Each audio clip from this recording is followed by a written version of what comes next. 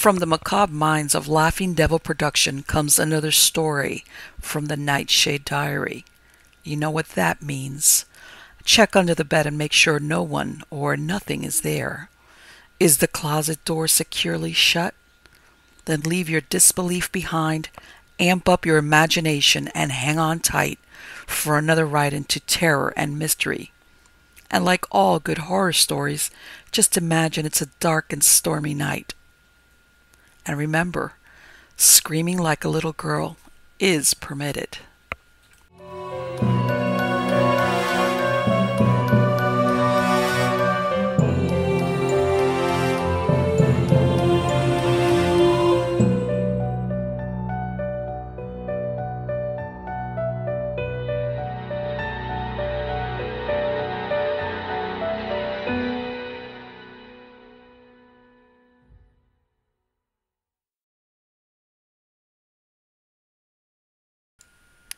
Well, today we're going to have stories about the conjure chest and other supernatural tales of the Old South.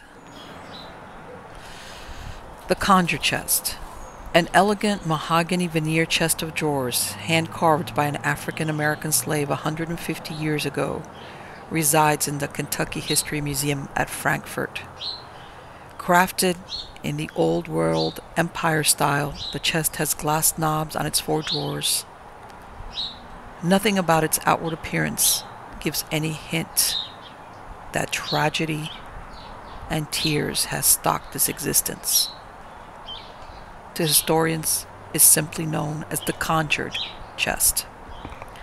Twenty years or so before the Civil War, there was a family the head of that family, his name was Jacob Cooley, and he lived a sumptuous life as a wealthy southern planter.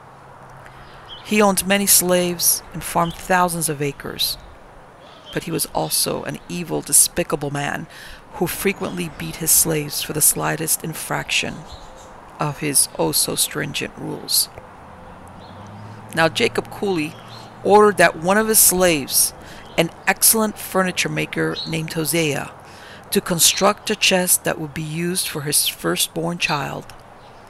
For some unknown reason, Jacob was angered at Hosea's finished product and beat him so savagely that he died a few days later.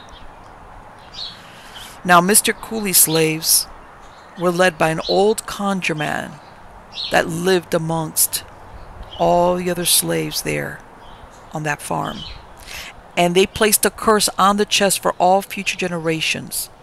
They were not about to let Hosea's murder go unavenged. One drawer was sprinkled with dried owl's blood, and a conjure chant was sung. All those associated with the chest would fall within the curse's evil power. Somehow or other, Jacob Cooley himself evidently escaped the malevolence. However, his descendants were not as fortunate. The baby for whom the chest was built died soon after birth. The chest was in his nursery. His brother inherited the chest, and he was stabbed to death by his personal servant.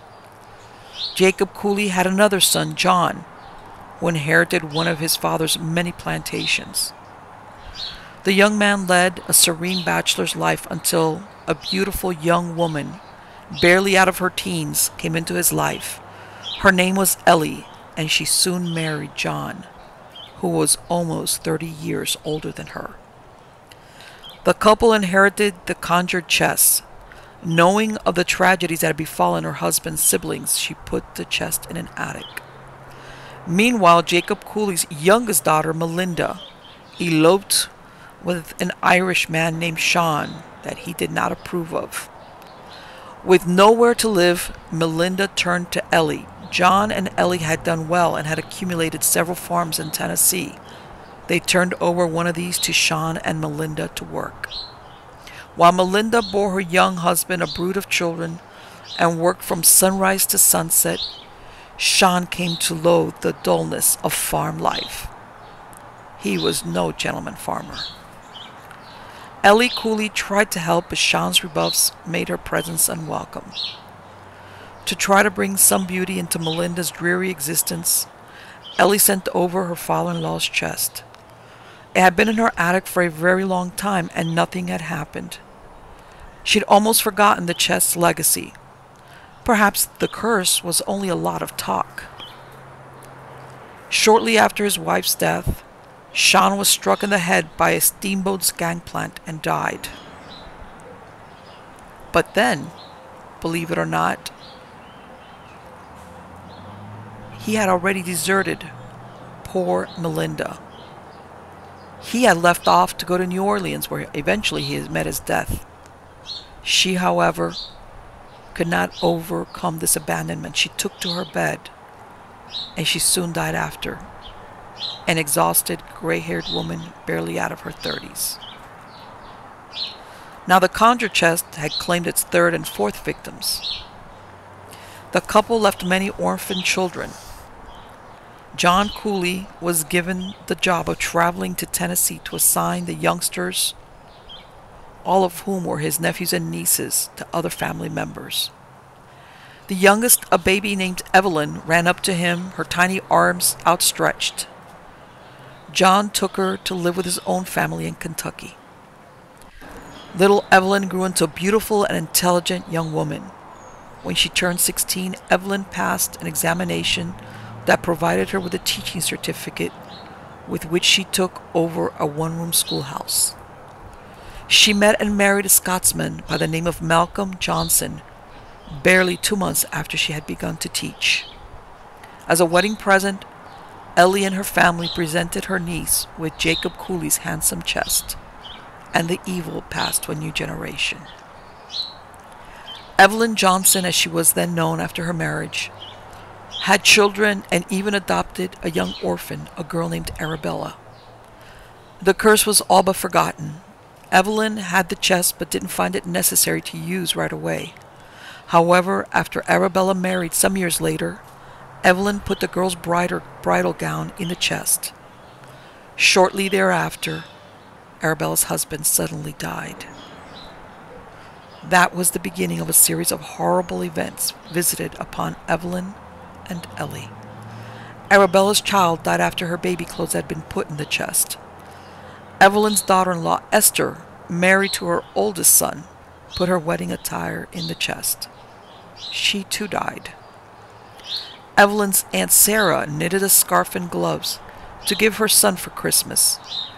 While walking along a train trestle, he fell off and was killed a few days before Christmas. Two other tragedies befell Evelyn's immediate family. A son in law deserted his wife, and a child was crippled for life in a bizarre accident. Yet Evelyn's husband, Malcolm, was a success.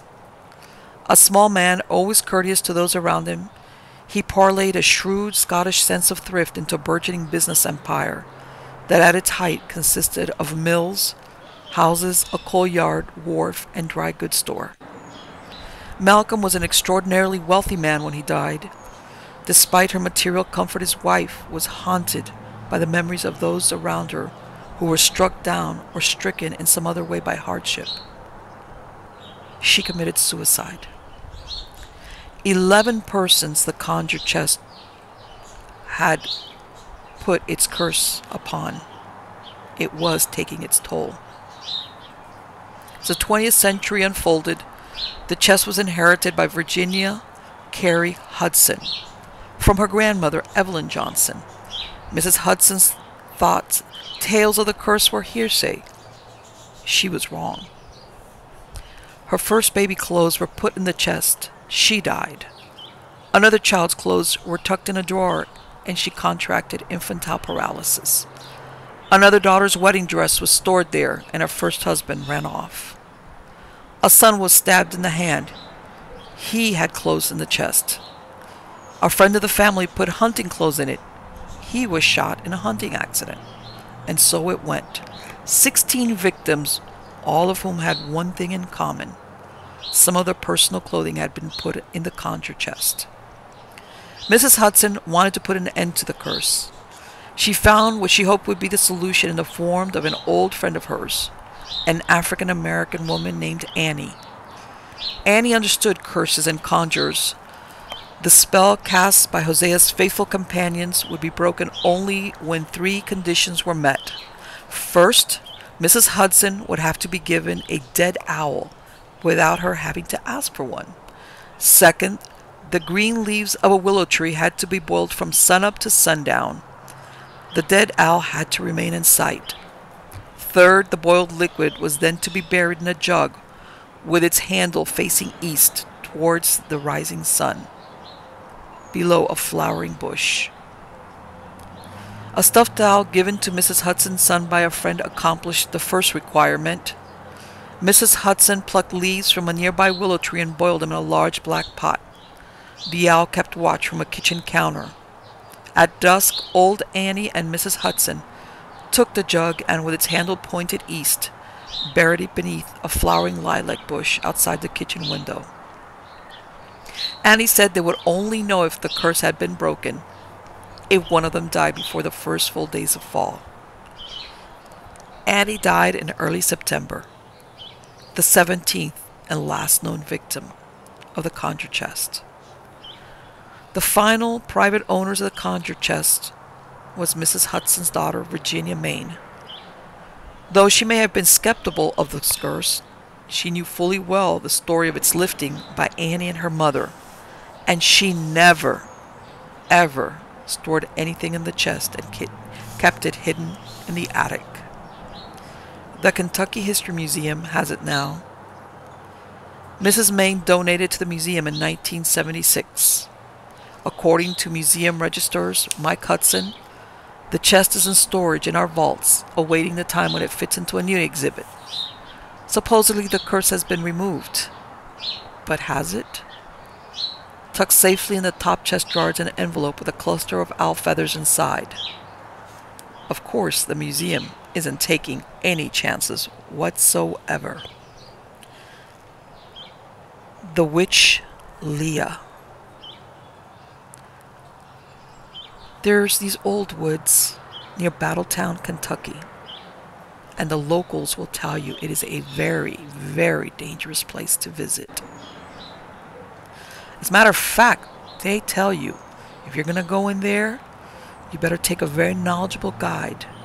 And you only go there in the fall or the winter when all the deadly rattlesnakes are in hibernation. But there might be another reason to be cautious in that old forest. It might be because of the ghost of Leah an accused witch who died mysteriously 150 years ago. She is said to haunt the old cemetery in the Lapland woods where her mortal remains are buried. Some claim that Witch Leah is the oldest haunting in all of Kentucky. Now, a hunter a few years back, he told another resident that he believed he had seen Leah's ghost hovering near her grave in her old cemetery where her remains were laid to rest. He described the apparition as having long black hair and swathed in a white robe with a black tie at her waist and throat, and a purple light seemed to envelop the incomplete form. Now, when you look back at the life of Leah, it's hard to separate the legend that's grown up around her as to the actual facts just because there's so few of them. It's known she was born around 1818, the daughter of a powerful Kentucky witch. It ran in her family. As a child, she preferred to be alone, strolling for hours upon end in the woods, searching for fruit and berries to eat. She had very few friends, and she hardly visited any of her neighbors or played with their children. Once she was playing at a neighbor's and their black cat began to scratch wildly at the walls. When the front door was open, it ran screeching from the house, never to be seen again. Leah also had the power to foretell the future. She was called in those days a seer. She often predicted the death of critically ill people.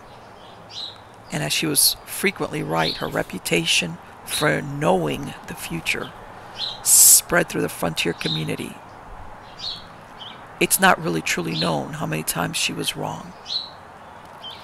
She died on August 21st, 1840, and her death is also shrouded in uncertainty. Some say she starved to death in the woods. Other reports say that she was burned to death when her house caught on fire. She was only 22 years old, and she lives on in a ghostly legend that even now to this day continues amongst the older residents of Meade County. Now, several years ago, a resident of that area took a newspaper reporter and two other companions to Leah's grave.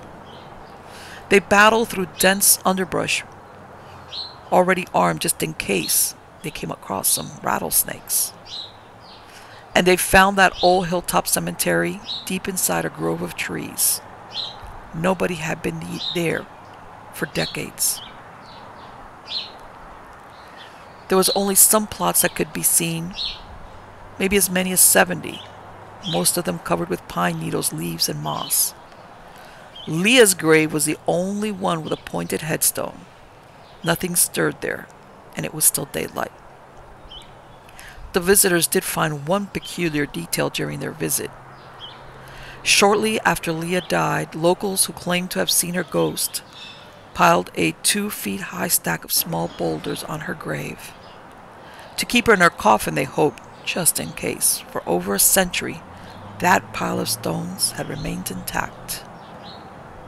On this day, however, the rocks were in disarray. About half of them had been removed.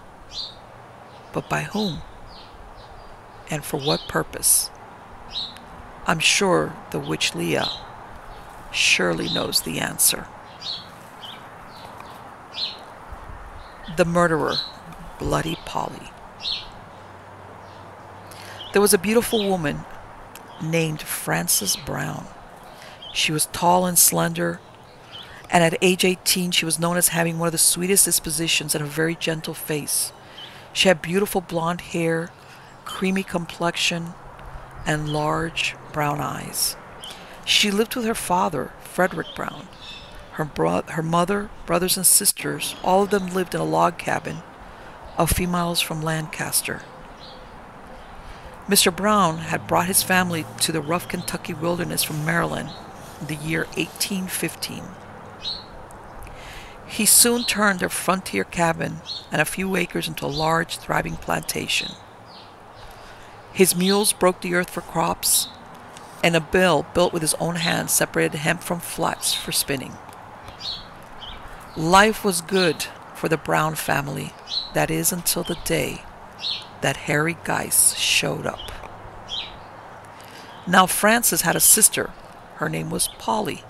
She was two years older. She had black hair, flashing eyes, and a fiery temper, and she usually got her way. One of Polly's worst fears was becoming an old maid.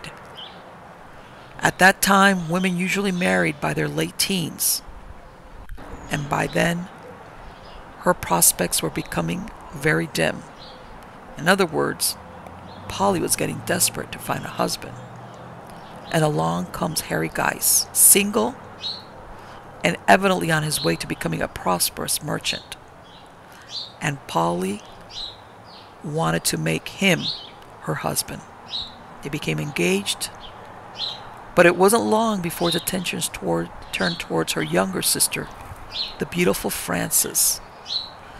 Perhaps it was Polly's bad temper which made the young bachelor have second thoughts. However, it was soon evident to everyone in the neighborhood that Harry would soon be marrying Frances or Fanny as she was known, and not Polly. It was apparent to everyone except Polly, of course. She was enraged at the thought of losing Harry Geiss to her sister, her devious mind created a scheme so horrible that years passed before its full impact was known. Then a fateful series of events started one morning when Harry Geiss set out to Maysville. There was no transportation in those days, especially out of the deep wilderness that surrounded the area where the Browns lived. So goods were transported from Philadelphia to Maysville where they were offloaded and toted to the outlying pioneer communities. Geiss periodically made the several, several hundred mile round trip, taking several days to complete the journey On this day, however, as he bade farewell to Frances, he had no way of knowing that it would be the last time the two would ever be together. A few hours after he departed, Polly found her sister weaving. Polly cheerfully persuaded her sister to accompany her to a Mrs. Brassfield's, there to examine a new quilt pattern the woman was completing. The two young women plunged through the thick forest. In a grove of pawpaw trees, Polly remarked that Frances's hair was coming loose. She would help her pin it up, guiding her sister to a log where she could sit. Frances should never have turned her back on her sister. As soon as she did, Polly drew a hatchet from beneath her skirt and, grasping her sister's hair firmly in her left hand, brought the blade down in a mighty swing at her sister's pale neck. Blood spewed from severed arteries. Chop, chop, chop. Blow after blow rained down on helpless Frances, her sister crazily swinging the bloody hatchet in a murderous rage. Frances cried out for mercy, but her screams were quickly silenced. Polly didn't stop until her sister's mangled head rolled off her lifeless torso. The murder had been carefully planned, savagely executed. Polly Brown had picked a particular part of the forest in which to carry out her deed. She dragged her sister's remains to a nearby sinkhole and buried them in the soft earth, being careful to obliterate any sign of a struggle or blood.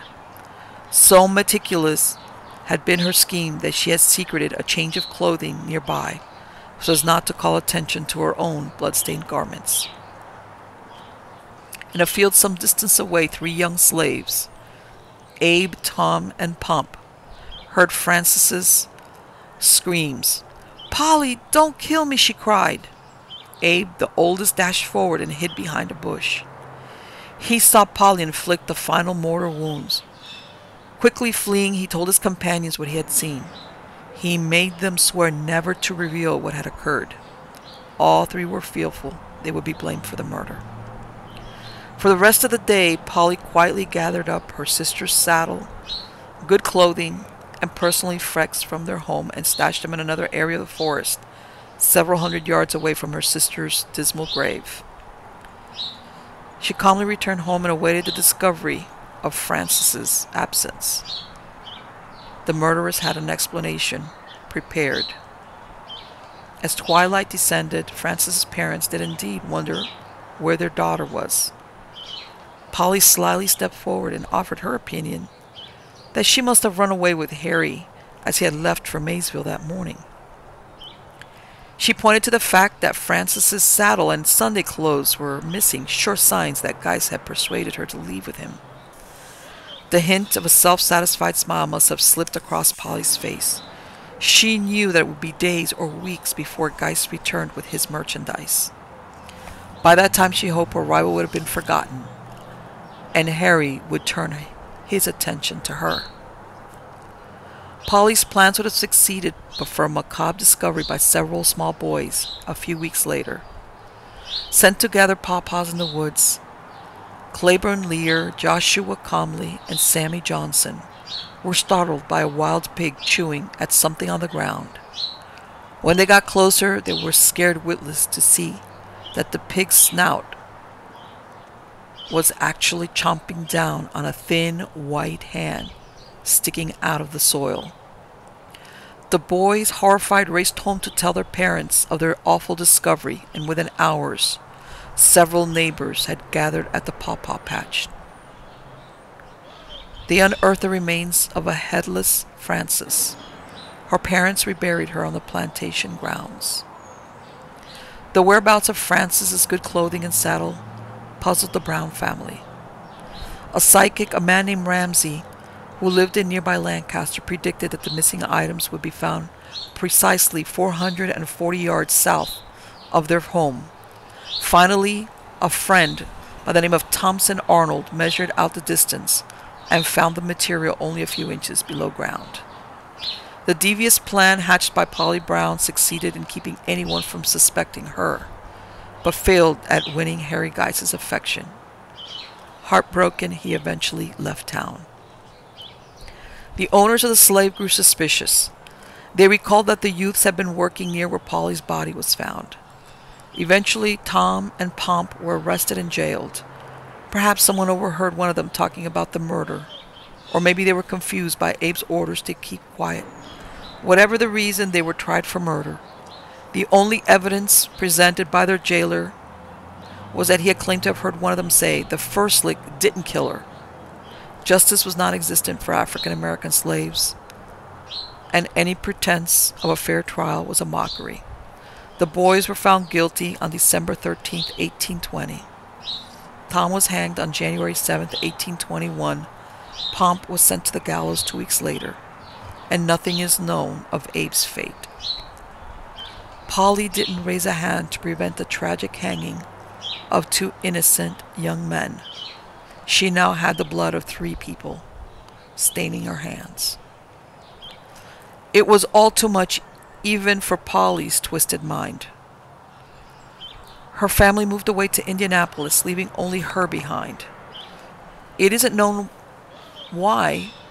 Perhaps it was her turning towards herbs as cures for disease, or her long walks in the woods, particularly near the old pawpaw tree where her sister's body lay for so long. Or maybe they had their own suspicions that she was the culprit of their other daughter's death.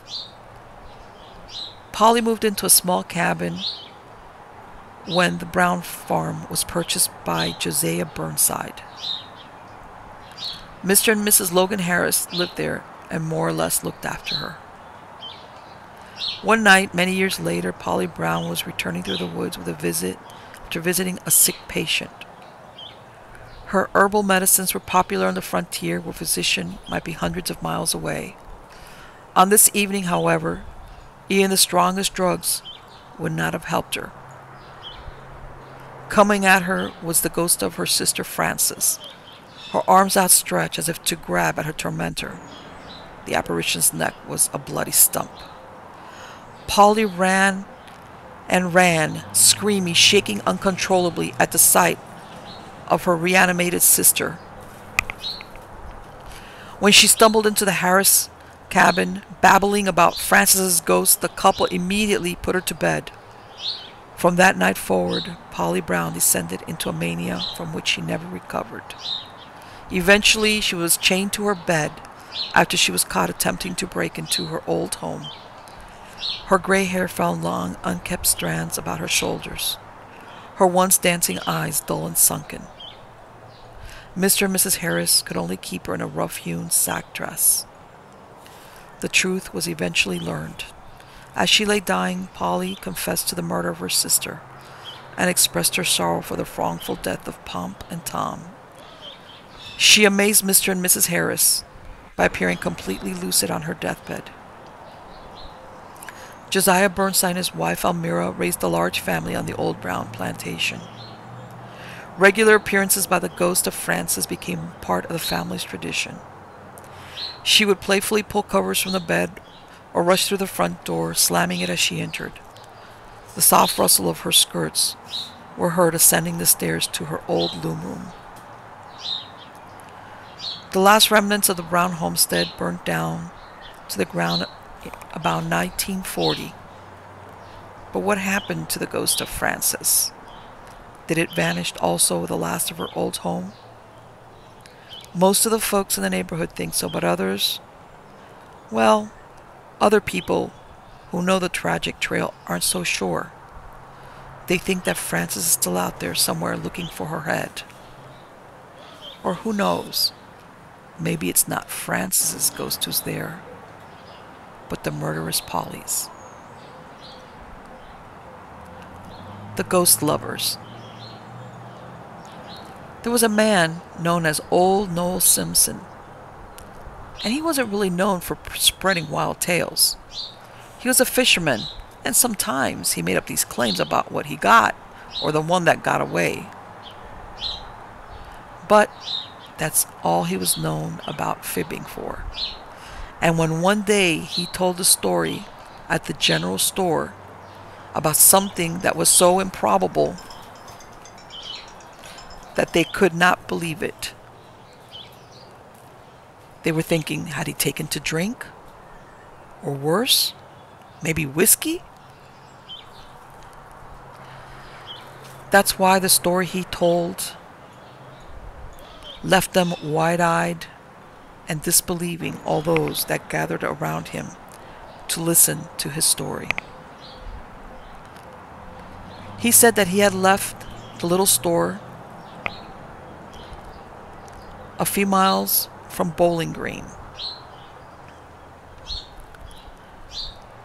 And that he didn't want to share his story with all those hecklers. And that he was going to come back with some eyewitnesses. And so he did about a week later. He came back this time with somebody by the name of Hosea. Now, both men claimed to have seen a boy and a girl, ghost lovers, floating down the barren river in a small boat and they tried to get up a company to prove their statement. There was a Mr. Lindley, an old schoolmaster, was finally persuaded to accompany them back to the river. The three of them boarded a rowboat at sunset and floated off downstream. They slipped past cedar trees clinging to the steep banks, while bats swooped low to pick off tasty dragonflies dancing on the water's surface. The stream narrowed so that strands of quivering sycamores formed a canopy over the water. At last they came to an area known as Hamel's Cliff. While Hathaway rowed and Simpson kept a sharp lookout ahead, the schoolmaster peered back upstream. He suddenly gave a sharp cry and collapsed in the bottom of the boat. Bearing down on them in the dusky twilight was a translucent skiff being rowed by a wan, black haired young man. Admiring his muscular physique was a blonde young woman, her skin as white as milk, with her back resting against the bow of the boat, her arms draped atop the gunwales. She was smiling at her beau's efforts, at his rhythm with the oars. The opposite shore was clearly visible through them. Neither the girl nor the boy took any notice of the three men watching their ghostly progress. The phantom rowboat made no sound as it swept by, as quickly as the little boat had appeared, it abruptly stopped. The girl stood up and put her arms around the young man. The boat quickly vanished beneath the surface. Nary a ripple stirred the calm waters. Days later, Lindley began asking around if anyone might know who the ghostly boaters might have been. The widow Overton nodded her head knowingly when she heard the question. Yes, she told the schoolmaster. They must have been Harry Stonewall and Annette Belmont. The couple had eloped and had been seen setting off in Annette's boat to the barren river. They were last seen near Hamel's Cliff in the spring of 1825. Obviously, something had happened to those two lovers where they never reached their destination. Shadow of the Unknown. The Cumberland Lake region of South Kentucky is a rich and its tales of the supernatural. Perhaps it's the mountainous terrain, its isolated settlements that give rise to so many beliefs of hauntings and ghosts. Eddie had an eerie experience several years ago that he told another writer by the name of Helen. Eddie and his wife had just finished supper when their telephone rang and a man's deep voice advised them that if he would meet him at a certain house, not too far from where he was at, that Eddie was going to find one of the best ghost stories ever. He jumped in his car and headed for the abandoned farmhouse, one that he had passed many times before. The man met Eddie at the front door and guided him inside, and to his amazement, Eddie found oil lamps lighting the rooms all furnished in the turn of the century style. Suddenly, the soft rustle of skirts and a slight cry caused him to glance at the staircase. Coming down was a lovely girl in a long dress with petticoats. Eddie's nameless host explained that the girl had lived in the house with her widowed mother. When she remarried, her husband began beating her daughter in frequent drunken rages. Then one day he killed her with a sharp blow to the head. The girl's mother accepted her husband's explanation that the girl had fallen from a horse, or at least she didn't ask questions of her brutal spouse. But the girl's soul never rested in peace, the man told Eddie. He watched as the man and young woman walked out the front door. Eddie rushed to follow, but they vanished. Eddie knocked on the door of the lighted farmhouse across the street to ask if he might use the telephone. He called his wife to bring his camera. Minutes later, as the couple walked towards the house, they noticed that all the lights had been turned out. The front door, which Eddie had left open, was now firmly closed. He put his shoulder to it and after several tries finally forced it open. The rooms were empty. Dust covered the floor and windows. Massive cobwebs hung from the ceiling. There was no sign of the furniture and lighted lamps. Eddie had only seen a different scene so many minutes before, where everything was new and the lights blazed. The farmer at whose house Eddie had telephoned his wife from said he had only seen him, Eddie, go into the house. He had not seen any lights through the window. Eddie never solved the mystery of what happened to him that night. To him, it always remained the time he walked into the shadow of the unknown. The devil lived in New Orleans, and this is his address. There's an ornate mansion at 1319 St. Charles Avenue that should be avoided at all costs. Why, you may ask? Because the devil once took up residence at that location in New Orleans. The house was built sometimes in the 1820s, the so called Devil's Mansion, who, according to legend, became constructed literally overnight Satan needed this house for his beautiful young mistress, a Madeleine Freneau.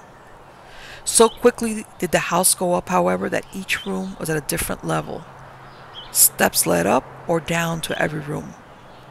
Even so, the mansion was outfitted with the best Satan's money could buy. Crystal chandeliers hung above carved mahogany furniture, while the finest dinner china and silverware were set for visitors who never came. Strangely, no servants were ever employed there. Not even dust dared to gather in the devil's own kingdom. Mademoiselle, quickly tired of being left alone to wander the lifeless rooms while the devil plied his trade on the wicked streets. Sometimes he would be gone for several days at a time. In time she found another lover. His name was Alcide Cancien, a vain and handsome Creole man who found in Madeleine such a physical pleasure that he had never known. Again and again he came to St. Charles Avenue to lose himself in Madeleine's arms. Alcide was unaware that he had a rival who would stop at nothing to destroy the illicit liaison. One day Alcide was particularly morose. As was the couple's habit when the devil was away, they were eating dinner in the elegant dining room. Madeleine asked him the cause of his melancholy. He told of his experience a few hours earlier. On the sidewalk outside the mansion, he had been accosted by a dark haired man attired in a great cape and top hat. The stranger asked him if he knew Madeleine Freneau. Alcide said truthfully that she was his lover. He was on his way to see her at that very moment. The stranger laughed merrily and said that he too was her lover but that he had grown tired of her. Alcide could have her, but only under one condition. The couple could leave with a million pounds of gold, the stranger promised if Alcide promised to change their names to Monsieur and Madame L. Alcide told Madeleine that he was puzzled as to what the L stood for. She evaded answering for a few moments, but at last acknowledged that the L symbolized Lucifer. To leave St. Charles Avenue, they would have to become the devil's couple. Despite the conditions, Madeleine begged to leave with Alcide. She had had enough of the devil's insatiable depravity. Alcide just laughed at her. He had no intention of taking Madeleine anywhere. The devil was right. He too was growing tired of her. And she was growing old, he added. There were many other younger and more beautiful women he could have. Besides, a mistress would never make a proper wife. Mademoiselle Fernot was furious. She grabbed a long cloth napkin, and before Alcide could act, she had twisted it about his throat, crushing an artery. Blood spewed from the dying man's mouth, soaking Madeleine's hands and gown. Alcide slid off the chair and fell in a heap on the lush carpet, a pool of blood forming beside his head. For the rest of the night, Madeleine tried to wash the blood from her body and clothing. It would not go away. At last, the devil returned from his rounds. Madeleine told him of the events, but he simply chuckled in merriment. His plans were progressing nicely, he thought. He hoisted Alcide's corpse over his shoulder, grabbed the struggling Madeleine by the arm, and climbed to the roof. Grinning, he told Madeline that he had not had a decent meal all day. With that, he began to devour Alcide's body, leaving only a few bloody shreds of skin. He threw those to the alley below for the hungry neighborhood cats. His hunger still not satiated, he turned to Madeline. For many years, the three story house stood vacant, its bottom windows barred, moss growing on the pillars. A family finally moved in during the 1840s, but with them came the ghosts of Madeline and Alcide. It was always the same. In the dining room, a large table would materialize. Seated at it were the diaphanous figures of the young couple. Soon there was a scream, and Madeline's ghost lunged for the deceitful Alcide. As she twisted the napkin around his throat, the entire scene faded away. That family, and many others after it, found the horrible scenario too upsetting to stay for long. The only family to stay was the Charles family. The couple, husband and wife, stayed there and this just started after the Civil War. She herself, Mrs. Charles, was the daughter of a Civil War general. They saw the ghostly murder take place many times, but grew to accept the uninvited ones, as they called Madeline and Alcide.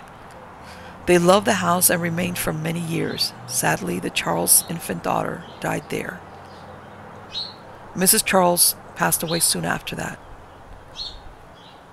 Her husband remained a virtual recluse, keeping meticulous diaries of his experiences there. It was he who was responsible for gathering the house's incredible early history. A Mrs. Jacks and her family later lived in the Devil's Mansion, but the haunting overwhelmed them. Not only did the spectacle in the dining room frequently turn up, but often there was the acrid smell of smoke when no fire was set in one of the numerous Italian carved fireplaces. Doorknobs would be twisted by unseen hands, and disembodied footsteps raced up and down the hallways. To passerbys familiar with the house, the weirdest sight of all was the head of the devil himself, embedded in the gable. Some said it was simply a hideous gargoyle made of stone or bronze, but those who really knew said it was the head of the living devil himself. And how did they know?